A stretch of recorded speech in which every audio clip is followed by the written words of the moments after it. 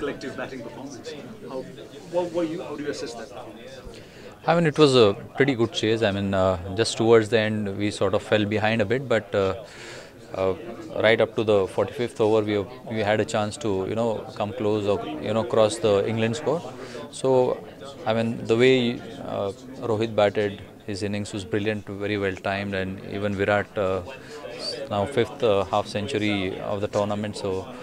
Uh, and then Rishabh also uh, getting a partnership with Rohit in the middle. So all in all, I felt that you know we were in the game, in the chase for a for, for probably 90% of the game. Uh, it's just that in the last three or four overs, uh, the target or the difference between runs required and balls. Uh, uh, balls left was, was just just went too much and uh, I mean credit to England bowlers especially in the in the last uh, six seven overs they they really stuck to their plan well and it made uh, run scoring a bit difficult by using the angles and using the large uh, part of the boundary.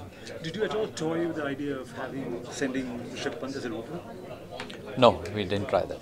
Um, just, just one about tonight, uh, today. Um, you've been working a lot with, with MS uh, leading up to this. Uh, was there any, um, where, where did you, um, I guess, sum up sort of the intent towards the end of that innings? Could it have been a little bit more aggressive, perhaps? I felt MS was, uh, I mean, he was striking the ball really well. He had good intent, and uh, uh, it's just that uh, the, the, English bowlers stuck to their task really well. They used the angles and uh, used the large boundaries to their advantages. And then when they were bowling to a shorter side of the boundary, uh, they were bowling a pretty good line. So. I mean, I didn't really find anything wrong in MS's innings. He, he, he was batting beautifully. He struck a few big blows, and it's just that in the last four or five overs, the difference between runs required and balls left just just uh, kept on creeping up. And now you've got to bounce back against Bangladesh. So, what certainly batting wise, what do you look to concentrate on?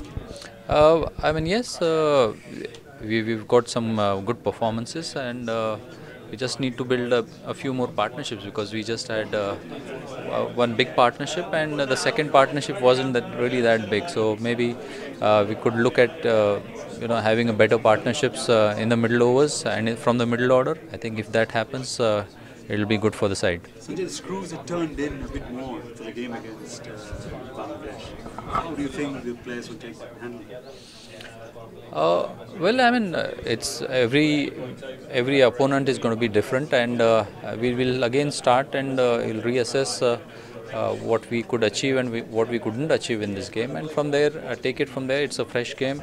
Uh, it's going to be on the same track. So we have a bit of an idea of how the track will behave and how the dimensions of the ground are. So we'll try and maximize them. Is that something um, so with that game against Bangladesh, what was it about the dimensions of the ground and the pitch in this that you feel you have to take lessons from? Uh, well, we were a bit surprised because they, they probably played 59 meters to one side, which is uh, the least uh, permissible size, uh, uh, so to say. But uh, I mean, again, it was same for the for both the sides, and credit to them that they used the dimensions to their advantage. Thank you. Thank you.